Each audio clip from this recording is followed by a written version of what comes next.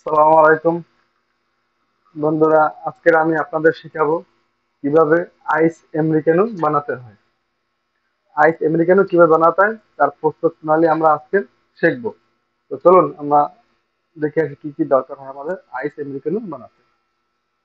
আমাদের আইস আমেরিকানো বানাতে দরকার হবে একটা কাপ এবং কাপের ভিতরে সাত আট টুকরো আইস কিউব, দুইশো বিশ এম ঠান্ডা পানি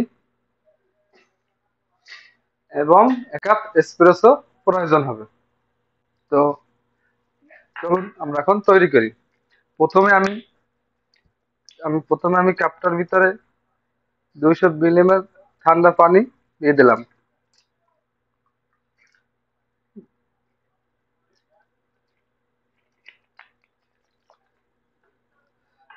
এরপরে আমি আমার এসপ্রেসোটি কাপের ভিতরে ঢেলে দিলাম। দেখেন বন্ধুরা, তৈরি হয়ে গেল আইস আমেরিকানো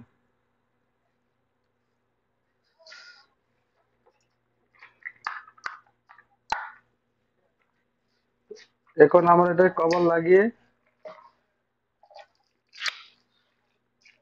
একটা স্টোর দিয়ে আমরা এখন এটাকে পরিবেশন করব কাস্টমারকে সার্ভ করব।